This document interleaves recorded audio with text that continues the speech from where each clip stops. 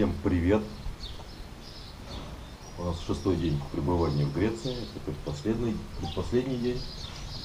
Сейчас мы выезжаем в Афины и пробудем там до отлета после завтра. А вчера день у нас прошел, скажем так, лайтово. Ну, Макс вообще лайтово.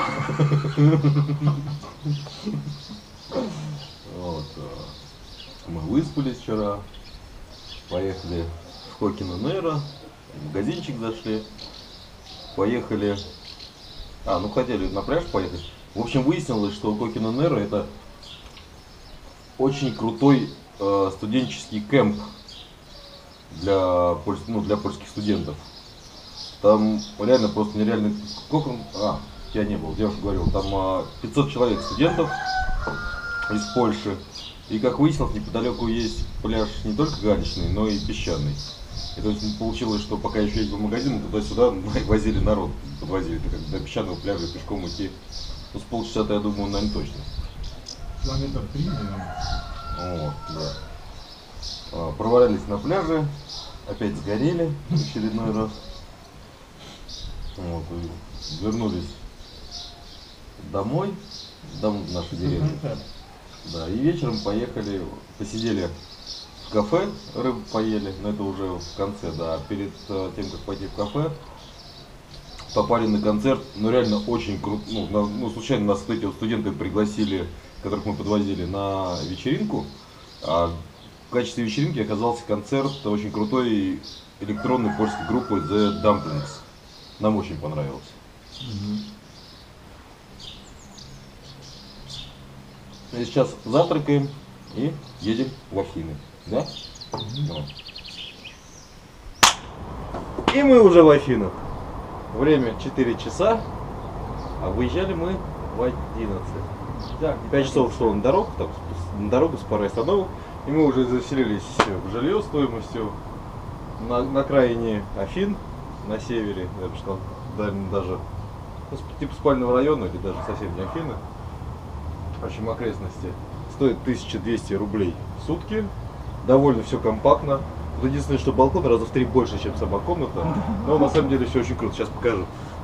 Балкон, холодильник есть, есть шезлонги. Здесь есть довольно, довольно такой приятный вид. Хоть и город, но все же шезлонги вот. И, собственно, сама комната. Вот. Это вся комната, такая вот мини-студия. Ну, в принципе, довольно уютно. Маленький диванчик, типа кровать, мини-кухня. Ну и ванна-душ. В принципе, за, за такую сумму очень даже круто, да, Макс? Да? Я говорю, да? Да? Да. Все довольно ми- миниатюрно, но круто. Есть полностью вся посуда, сковородки, кастрюли, тарелки, ложки, вилки, ножи. Ну, чай, кофе, как, как полагается, в общем.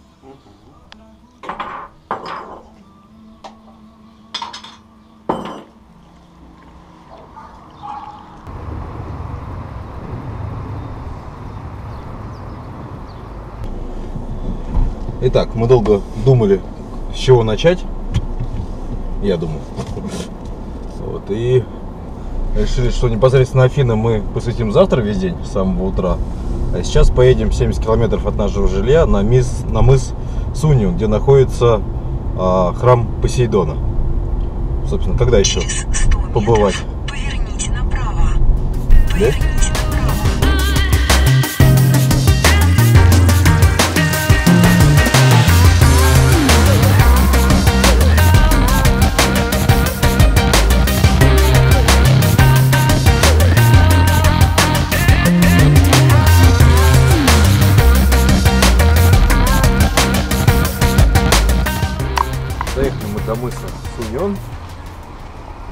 Заскочив в небольшой уютный городок, название которого даже не посмотрели, не знаем.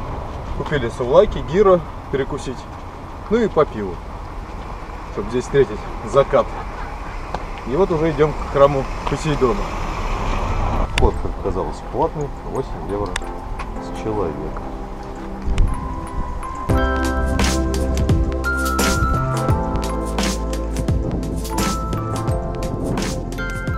Первые поселения на мысе Суньон появились в глубокой древности, и уже тогда этот мыс считался местом священным, вобрав в себя два культа – Афины и Посейдон, соперничавших между собой за обладание Аттикой.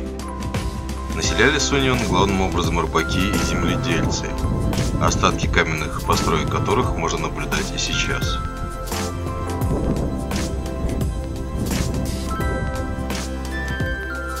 Храм Посейдона, величественно украшающий мыс Суньян, по некоторым данным был построен в 440 году до нашей эры. На данный момент от него остались лишь руины, размер колоннады которых 13,5 на 31 метр.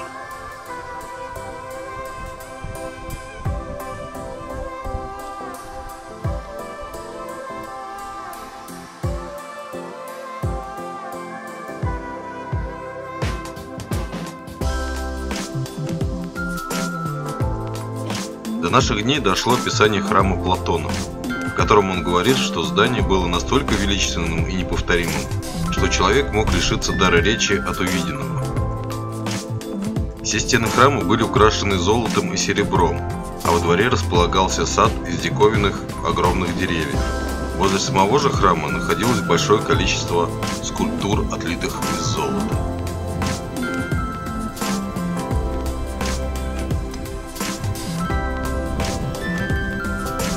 По одному из мифов название Эгейского моря произошло от имени царя Игея, бросившегося именно на мысе Суньян со скалы. После того, как он увидел возвращающийся скрытый корабль под черным парусом, что свидетельствовало о том, что его сын Тисей погиб в бою с Минотавром. Тисей же просто забыл в спешке сменить парус.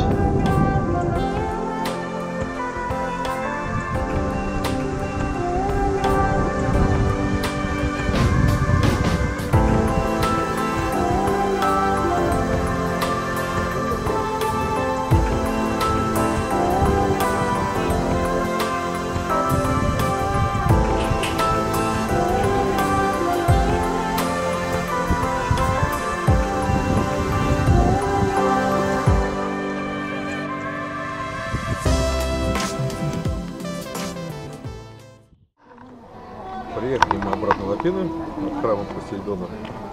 Время 11 часов вечера субботы. Машину поставить здесь в центре вообще нереально. Крутились, ну, наверное, минут 40 ездили, да?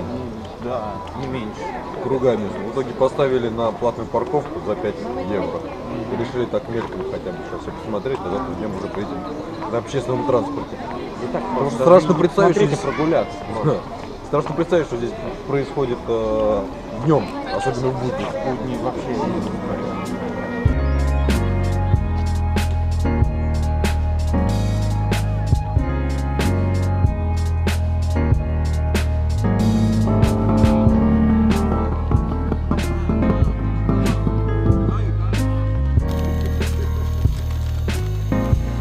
Христос.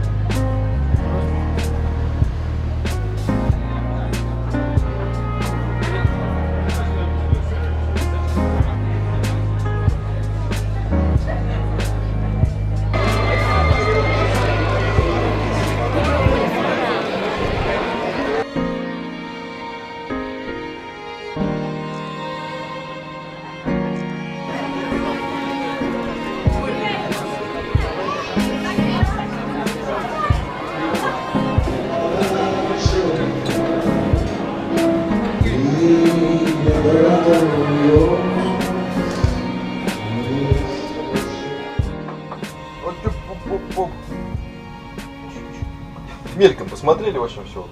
Решили дома биться немножко. К слову, Ну, Греция страна для Европы недорогая, но в целом все дороже, чем в России. Но клубника вот точно дешевле. Сколько получается килограмм? Дешевле 3 евро в общем в магазине. Да. Копейки. Меньше 200 рублей за килограмм клубники. Причем такая нормальная клубника. Такая вот. Добрая, здоровая Вот такая. такая да. вот клубника. И это в мае. Завтра поедем. Не поедем, пойдем. Посмотрим, сколько арбуз тут стоит. Потому что они уже нормальные.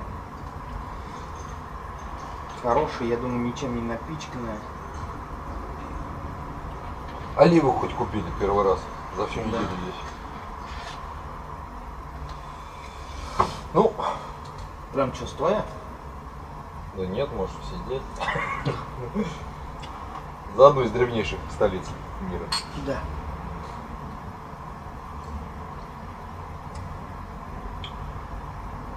Ты любишь? Сухое? Да. А, Макс, давай, говорит, сыр возьмем. Говорит, сыр, говорит, вот, говорит, с чем-то там у него какие-то добавки. Оказался это, в общем, дословно русский салат. Оливье, короче.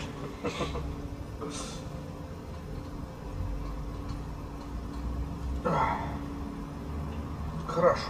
Время уже час ночи, да, часов шесть нам вставать. И посмотреть за один день город.